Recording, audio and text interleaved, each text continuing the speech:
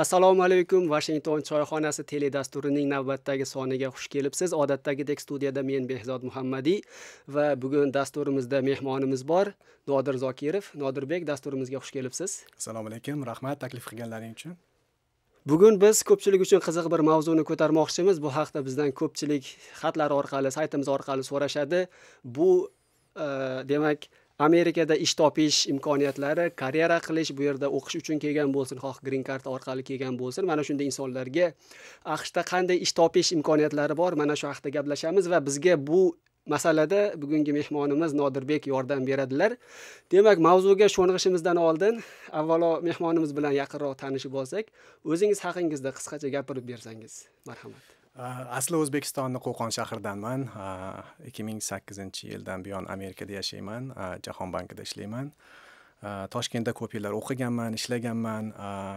Hozir shu ish yuzasidan jahon kezib shuningdek amerikadagi ko'p o'zbeklar bilan tanishib shu yerda yashab yuribmiz. Rahmat. Э, umuman э, savolimizni birinchisini shunday qo'ysak amerikani sehrli diyor deyishadi. Juda ko'plab dunyodan muhojirlar bu yerga kelishni xohlashadi va kelishadi va ular orasida albatta o'zbekistonliklar ham ko'p. Amerikani mana shu muhojirlarni o'ziga jalb qiladigan eng muhim jihatlari o'ziga tortadigan narsasi nimada deb o'ylaysiz manimcha amerikani o'ziga tortadigan e, jalb qiladigan bir tomonlardan biri bu yerdagi imkoniyatlar. Imkoniyatlar deganda nimani nazarda tutaman? Bu bu yerda shunday bir sharoit iqtisodiy ijtimoiy bir tizim tuzilganki agar odam kimdir bo'lmoqchi bo'lsa u mashhur bo'lmoqchimi biznesmen bo'lmoqchimi yoki o'z sohasida katta bir yutuqqa erishmoqchi bo'lgan kishi bo'lmoqchimi? Qanaqa soha bo'lishidan qat'iy nazar? Agar harakat qilsa bu yerda albatta erishadi. Va ikkinchisi bu albatta bu yerdagi kuchli iqtisodiy sharoitlar demak bu yerga kelgandan keyin xuddi o'sha qilgan mehnatiga boshqa davlatda bir ayrim qisman kam pul olsada bu yerga kelib ancha ko'proq daromad topishi mumkin pul orttirishi mumkin oilasiga ko'proq narsalarni sotib olishi mumkin. Manimcha shular lekin bulardan tashqari eng katta jalb qiladiganlaridan man uchun shaxsan bu yerda erkinliklar cheksiz. Erkinliklar qanday? Bu yerga kelganingizdan keyin sizni sabab sababsiz hech kim tekshiruvlarga jalb qilmaydi. Ko'chada yurganingizda bekordan bekorga yo'l post harakati xodimlari kelib sizni politsiya to'xtatib bekorga sizni bezovta qilmaydi. Agar qoida buzmasangiz yoki uyingizga kimdir kelib hujjatlaringizni tekshirmaydi. Davlat ichida yurganingizda siz o'zingizni begonadek his qilmaysiz. Qandaydir bir turli dunyoni har burchaklaridan kelgan odamlar yashaydida ularni orasida siz o'zingizni begonadek his qilmaysiz. Qandaydir bir monoetnik davlat emas. O'zingizni ularni ichida jamiyatni bir qismi sifatida ichiga kirishib ketasiz tezda. Shunisi bilan odamlarni jalb qilsa kerak. Demak bag'rikenglik teng huquqlilik fuqarolarni birdek ko'rish va iqtisodiy imkoniyatlarni yaxshiligi ko'pchilikni jalb qiladi. Э, men amerikadagi o'zbek muhojirlarini o'zbekistonlik muhojirlarni uch toifaga bo'lgan bo'lardim. Bularni shartli ravishda albatta. Birinchi toifa bu green card orqali kelayotgan oilalar o'sha o'zbekistonliklar. Ularni endi yoshi har xil har xil mutaxassisliklardan bir ijtimoiy kelib chiqishdagi insonlar va tabiiyki ularning aksariyati ingliz tilini bilmaydi. Demak ular hammasini boshidan boshlash kerak bu yurtga kelgandan keyin. Ingliz tilini o'rganish ish topish va hokazo. Ikkinchi toifa muhojirlar. Bular amerikada o'qish uchun amerikaga kelgan shu yerda o'qigan va o'qigandan keyin bu yerda ish topib qolib ket qolib ketayotgan yoki qolib ketishni xohlaydigan muhojirlar. Yana bir toifa bu albatta bular amerikada ish topish va karyera qilish nuqtai nazaridan gapiryapmiz bu toifalarni uchinchi toifa menimcha bu e, o'sha h one b degan viza turi bor bilasiz. Mana shu orqali aqsh kompaniyalari xorijdan bevosita ishchilarni yollab amerikaga olib kelishi mumkin. Mana shu haqda ham bizdan ko'pchilik so'rashadi. Masalan ish ishlash uchun ish ish vizasini olish uchun amerikaga borish mumkinmi degan savollar bo'ladi. Demak mana shu uchta toifani alohida alohida ko'rib chiqsak hozir birinchisi masalan green karta orqali kelayotganlar. Ular aqshda joylashib o'zini yo'lini topgungacha og'ir kunlarni boshdan kechiradi. Albatta mana shu yerda uzoq yillar yashagan shunday oilalarni insonlarni bilgan bir mutaxassis bir inson sifatida nimalarni ayta olasiz? Bu ular qanday jarayonlardan o'tishadi va o'zini yo'lini topib amerikada uzoq muddatli qolib yashash uchun ularga qanaqa maslahatlaringiz bor? Green karta bilan kelganlar birinchi toifa haqida gaplashadigan bo'lsak manimcha bular amerikaga muhojirlik qiladigan o'zbeklarning eng katta guruhi desa bo'ladi. Chunki o'tgan ikki uch yildagi konsullik ma'lumotlariga ko'ra amerika hukumati chiqargan. O'zbekistondan har yili deyarli bir yarim mingta odam green karta yutadi. Ularni oila a'zolari bola chaqasi bilan keladigan bo'lsa demak yilga ikki uch mingta odam kelyapti amerikaga taxminan. Kamida. Kamida. Yana boshqa bir bilmadim siz bu ma'lumotni qayerdan oldingiz? Besh mingta degan ma'lumot ham bor balki bu kamaygandir. O'rtacha o'zbekistonga har yili besh mingta green karta uchun joy ajratiladi deyilgan ma'lumot bor. Ularni oila a'zolarini qo'shsak demak bu balki o'n minggacha chiqishi mumkin yoki undan ko'p agar oilali insonlar bo'lsa to'g'rimi? Albatta. Mana shu green karta bilan amerikaga kelayotganlarni endi ikki toifaga man bo'laman. Ulardan biri yoshlar yosh oilalar va ikkinchisi yoshi katta odamlar green karta hmm. yutganda agar yoshlar amerikaga kelsa ular albatta bu jamiyatga tezroq o'rganadi. Ular hamma narsani boshidan boshlaydi. Ular ishga kirishib ketadi tilni o'rganishi osonroq.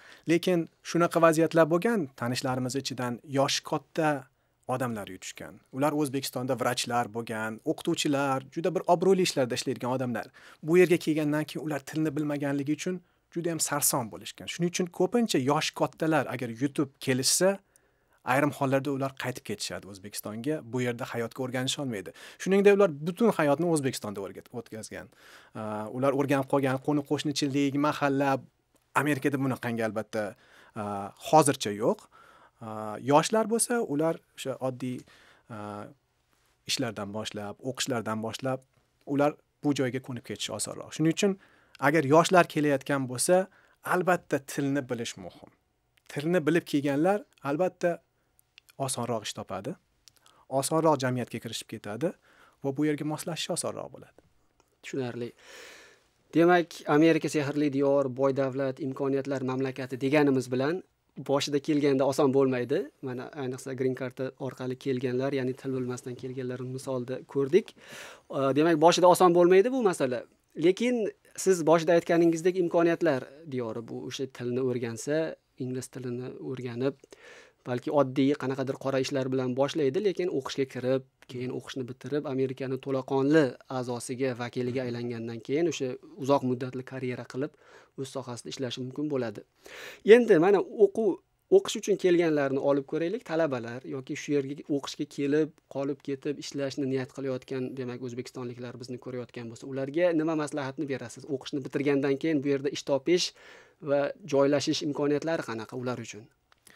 Mana shu ikkinchi toifa haqida alohida gapirib o'tmoqchi edim. Mana yoshlar bizni ko'rib turgan ukalarimiz singillarimiz bo'lsa. Amerikada yashash istagingiz bormi yoki yo'qmi? Amerikada agar sizda imkon bo'lsa kelib o'qish imkonini shu haqida orzu qilayotgan bo'lsangiz albatta harakat qiling. Imkoniyatlar cheksiz. Hattoki universitetlarni o'zlari sizlarga grant berishi mumkin hukumat grantlari bo'lishi mumkin. Ingliz tilini albatta yaxshilab o'qinglar. Agar keladigan bo'lsalaring yaxshi mutaxassis bir sohani egasi bo'lib o'zingizni ko'rsatadigan bo'lsangiz bu yerdami o'zbekistondami dunyoni bir qaysi chetida bo'lishidan qat'iy nazar katta yutuqlarga erishishingiz mumkin. Chunki amerika universitetlaridan olingan diplomlar juda yam qadrlanadi. Shu nuqtai nazardan amerikada kelib ishlamoqchi bo'lganlarni solishtiradigan bo'lsangiz hech bo'lmasa amerika universitetidan bakalavr diplomimi yoki magistr diplomi bitta amerika universitetidan diplom bo'lsa ish topishi osonroq o'zbekiston diplomi bilan kelib ishlaydigan odamdan. Ayniqsa bir bu ma'muriy ishlarga kirmoqchi bo'lsangiz ofislarda o'tirib qaysidir bir yuridik sohami yoki meditsina sohasimi ularda maxsus imtihonlar qo'shimcha topshirish kerak. Shu nuqtai nazardan ish topish o'qishga kelganlarni orasida amerikada o'qisangiz imkoniyati ko'proq va albatta bu yerda tirishqoqlik kerak. Albatta birinchi boshida ish topolmasa tashlab qo'ymaslik kerak harakat qilish kerak bog'lanish kerak. Agar o'zbeklarni orasidan har xil tashkilotlarda har xil korxonalarda ishlayotganlar bo'lsa uyalmasdan ularga o'sha ijtimoiy tarmoqlar orqali linkedinmi boshqa tarmoqlar orqali bog'laninglar maslahat so'ranglar. Balki bitta universitetni bitirgandirsizlar o'zbekistonda. Ular bemalol sizlarga maslahat beradi. Shu yoshlarga xabarim. Shu mavzuda yana mana talaba vizasi bilan o'zbekistonga kelgan demak muhojirlar talabalar amerikaga kelgan. Amerikaga kelgandan keyin o'qishni bitirdi va qoida bo'yicha ular talaba vizasi bilan kelgan odam o'qishni bitirgandan keyin o'zbekistonga yoki o'zini vataniga qaytishi kerak. Qonuniy jihatdan ular qolib yoki vizasini qaysidir boshqa bir vizaga o'zgartirib ishlay olishi mumkinmi? Buning uchun ular nima qilishi kerak? Huquqiy jihatdan nimalarni bilamiz shu haqda? Albatta mutaxassis sifatida emas o'zimni fikrimni bildiraman o'qishga kelishni ikki xil viza bilan kelish mumkin. Birinchisi f vizasi deyiladi. Bu e, talabalarga o'zi to'labmi yoki grant orqali keladigan talabalarga beriladi. Bular e, o'qishga kelgandan keyin albatta yaxshi o'zini ko'rsatsa ish beruvchilar ularni ishga olib qolishi mumkin. Hech qanday cheklanuvlar yo'q mamlakatiga qaytib ketish haqida. Ular vizasini o'zgartirish kerak. Ish topgandan keyin ish beruvchi ularga o'sha h 1 bmi ish vizasiga o'zgartirishi mumkin. Oson emas lekin imkoni bor. J vizasiga kelsak bu j viza alishuv dasturlari orqali keladiganlar. Bu o'sha haligi maski undergraduate fulbright. Fulbright alishuv dasturlari amerika hukumati tomonidan jumladan moliyalashtirilgan dasturlar. Bular orqali kelgan yoshlar albatta o'qishni bitirgandan keyin o'z mamlakatiga qaytib ketishi kerak. U yerda ikki yil o'z davlatini rivojiga hissa qo'shib keyingina amerikaga yana qaytib kelish istagi bo'lsa qaytib kelishi mumkin. Cheklanishlardan faqat shu. Tushunarli. Demak f one vizasi bilan kelgan asosiy demak toifadagi talabalar e, bu yerda o'qishni tugatib ishlashlari uchun avvalo ish topishlari kerak va undan keyin e, o'sha ish beruvchi kompaniyani homiyligida ular demak vizasini o'zgartirib bu yerda qolishlari mumkin. Ularda demak imkoniyat bor lekin bu degani albatta ish bozori oson emas. O'zlari harakat qilib talabalik davridan ko'p talabalar qanday ish topadi bu yerda e, tajriba shunaqaki o'sha o'qishni oxirgi yillarida yoki magistratura bo'lsa birinchi ikkinchi yillarda ta'til paytida ular biz amaliyot deymiz internship. Amaliyot o'tashadi mashhur kompaniyalarda. Amaliyot uchun yaxshi kompaniya topish ham katta gap bu yerda oson emas. Va o'sha yerda o'zini ko'rsatib ikki uch oy ta'til paytida amaliyot amaliyotdan o'tsa ular demak bitirgandan keyin o'sha ish o'sha amaliyotni o'tagan ish ish kompaniyalar o'zlari u talabani chaqirishadi. Kelgin bizda ishlagin deb mana shu demak ishlashni bu yerda qolib ishlashni xohlaydigan ko'plab xorijlik talabalar mahalliy talabalar ham shu yo'l bilan demak ular ish topishadi. Shuni aytib qo'ymoqchi edim. Endi boya h one b degan viza haqida gaplashdik. Shu haqida ham yana ko'proq ma'lumot bersak o'zbekistonliklarda shu imkoniyat bormi? Mana shu to'g'ridan to'g'ri o'zbekistondan turib ish vizasini olish va amerikaga kelib ishlash. Bu vizani qo'lga kiritish uchun qanaqa talablar bor va qaysi mutaxassisliklarga odatda mana shunday viza orqali amerikaga chaqirishadi ishga? H 1 b vizasi bu ish uchun kelayotgan odamlarga beriladi lekin oddiy ishlarga emas demak amerikada topilmagan talantlarni chet ellardan jalb qilish uchun chiqarilgan viza bu. Bu vizani olish uchun yoki ishchiga shu vizani rasmiylashtirib berish uchun ish beruvchilar qandaydir bir xarajat qilishadi ular to'lovlar to'lashadi hukumatga qator anketalar topshirishadi. Uni yugur yuguri ko'p. Va har doim ham ishchilar bunaqangi viza qilishga tayyor emas. Ikkinchi tomondan shunaqangi qobiliyatlar amerikada topilmagan qobiliyatlar o'zbekistonda qanchalik bo'lishi mumkin. Ko'pincha bu e, kompyuter programmistika sohasida bo'ladi lekin kompyuter programmistika sohasida hindistondan ukrainadan rossiyadan mutaxassislar juda ko'p kelishadi. Shuning uchun o'zbekistondan albatta axtarib borishmaydi ish beruvchilar. Maxsus agentliklar bor shu hindiston ukraina isroil izroil e, rossiya kabi davlatlarda ular mutaxassislarni topib ular vizalarni uyushtirib berishadi. Shuning uchun h 1 b vizasi juda ham bir keng tarqalgan deya olmayman ayniqsa o'zbeklarni orasida man kam eshitganman h 1 b orqali bir o'nlab yuzlab odamlar kelayotgani haqida. Tushunarli. Demak h 1 b vizasi orqali nazariy jihatdan kelish mumkin. Faqat raqobat juda ham kuchli. Ular nafaqat o'zbekistonning o'zida balki butun dunyo miqyosida o'sha qaysidir mutaxassislik bo'yicha ish o'rni bo'lsa butun dunyo miqyosida ular raqobatga kirishishi kerak va o'sha kompaniyani nazariga tushsa imtihonlaridan o'sha ko'rigidan o'ta olsa ana undan keyin amerikaga ish vizasi bilan kelishi mumkin. O'zbekistondan bor shaxsan men bilaman masalan google facebook mhm. degan mashhur amazon degan kompaniyalarda ishlaydigan o'zbekistonliklar bor. Ularni endi hammasi ham h one b vizasi orqali kelganmi? Bu yerda o'qishda o'qib keyin qolib ishlaganmi aniq bilmaymiz. Lekin bitta yigitni bilaman o'zbekistonlik. Mhm. facebookka o'zbekistondan turib ishga kirgan o'sha ish e'loni bo'yicha hujjatlarini topshirgan o'sha protsesslardan jarayonlardan o'tib suhbatlaridan o'tib e, ishga qabul qilingan facebook uni ishga qabul qilgan va h 1 b vizasini ham berishga tayyor edi. Faqat shu yerda aytib ketishimiz kerak bu viza turini o'zbekiston umuman o'zbekiston emas butun dunyo uchun e, cheklov bor. Bir yilda oltmish besh ming dona h one b vizasini ajratadi aqsh hukumati. Mana shu vizani demak to'lib to'lib qolsa keyingi yil kutish kerak. Demak u facebookka ishga qabul qilingan yigit e, bu vizani olish jarayoni uzoq cho'zilishi aniq bo'lgani sabab facebook uni aqshdagi e, ofisiga emas londondagi ofisiga ishga yuborishga qaror qilgan. O'sha yigit hozir bilaman londonda facebookda ishlayapti. Ya'ni ishga qabul qilingan taqdirda ham o'sha vizaga viza olishga layoqatli ishni topib ishga qabul qilingan taqdirda ham vizani olish jarayoni ancha vaqtni oladi. Bu uzoq kutish kerak bo'ladi. Shu tomonlari ham bor. Demak h one b vizasi orqali kelish qiyin. Manimcha qanday e, yo'l bilan kelgandan e, qat'iy nazar albatta muhim ikkita narsa. E, man o'zimni tanishlarimdan bilaman. Birinchisi bu til bilish. Tilni yaxshi bilish kerak. Ikkinchisi qaysidir sohada mutaxassis bo'lish kerak. Meditsinami programmistikami hattoki yuridik sohami yoki finans moliya sohasidami. Shu sohada o'zini diplomiga tajribasiga ega bo'lib ayniqsa xalqaro tashkilotlarni o'zbekistondagi idoralarda ishlab kelganmi ularni ish topishi osonroq. H one bdan ko'ra green cardda olib kelish ehtimoli ko'proq. Shu siz aytgandek cheklanishlar bor. Green karta bilan kelganlarni orasida ham man bilaman programmist bo'lib ayniqsa kelganlar amerikaga bir oyni ichida ish topishadi va ularni talab tashlashadi. Har xil ish beruvchilar bizga keling bizga keling deb. Demak tajriba tajribadan bilaman do'stlarimiz tajribasidan tushunarli bizni ko'rib turgan yoshlar mana talabalar o'zbekistonlik ishonchim komil ular orasida amerikaga boraman o'qiyman buyuk odam bo'laman degan yoshlar juda ko'p. Ularga bir umumiy qanaqadir e, maslahatingiz balki nasihatingiz bordir. Ya'ni amerikada o'qigan shu yerda muvaffaqiyat qozonib masalan yaxshi bir joyda ishlayotgan o'zbekistonlik sifatida yoshlarga o'zbekistonliklarga qanaqa bir maslahat bergan bo'lardingiz? Ular shu siz siz erishgan yutuqqa yoki siz kabi boshqa vatandoshlarimiz erishayotgan yutuqlarga erishish uchun nimalarga e'tibor berish kerak hozirdan masalan?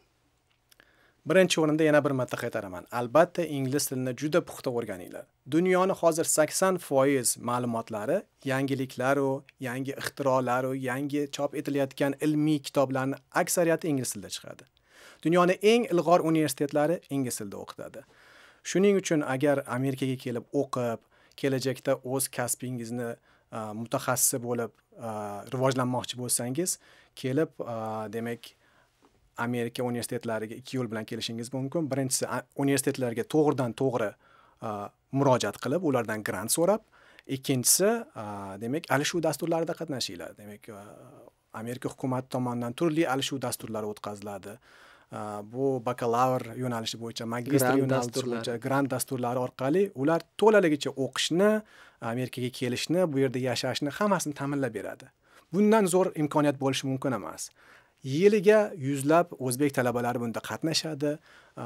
Ulardan ko'p yoshlar bu, bu haqda bexabar bo'lishi mumkin. Ayniqsa viloyatlarda yashaydigan yoshlarimiz toshkentdagidek imkoniyatlarga ega bo'lmasligi mumkin. Shuning uchun xabardor bo'linglar. Ijtimoiy tarmoqlarda ma'lumotlarni olib turinglar. Borib kutubxonalarda ingliz tili kitoblarini olib toefl o'sha testlariga tayyorlaninglar va xalqaro dasturlarni kuzatib boringlar. Shuningdek e, o'zbekistonlik yosh uka va singillarimizga murojaat qilmoqchi edim. Agar e, amerikadagi o'zbeklarni hayotiga qiziqsangiz va amerikada qanday o'qishga kirish mumkin qanday qilib amerikaga muhojirlik qilib kelib ishga kirish mumkin hujjatlarni qanday olish mumkin? Shular haqida man ko'p oxirgi vaqtda o'ylay boshladim. Chunki ijtimoiy tarmoqlarda bu savollar qayta qayta chiqyapti. Shuning uchun youtubeda man kanal ochdim o'zimni ismim bilan nodir zakirovni qidirsalaring youtubeda. Bu kanalda har kuni o'zbeklarni amerikadagi hayot haqida va kundalik muammolar va ularni qanday hal qilish haqida videolarni qo'yib boraman. Marhamat youtubeda obuna bo'ling aloqada qolamiz. Nodirbek mazmunli suhbatingiz va ajoyib maslahatlaringiz uchun katta rahmat. Shu yerda bugungi dasturimizga yakun yasaymiz va mehmonimizga alohida rahmat va minnatdorchilik bildiramiz. Umid qilamizki kelgusi boshqa dasturlarimizda ham siz o'z fikrlaringiz bilan qatnashasiz va kutib qolamiz. Va sizlarga aziz teletomoshabinlar e'tiboringiz uchun katta rahmat va kelgusi dasturlarimizda ko'rishguncha shu yerda xayrlashamiz. Mavzu bo'yicha yoki boshqa masalalar bo'yicha sizda fikrlar savollar bo'lsa doimgidek elektron pochta manzili orqali sizlarni demak maktublaringizni kutib qolamiz. Kelgusida ko'rishguncha xayr. Salomat bo'ling. Xayr salomat bo'ling.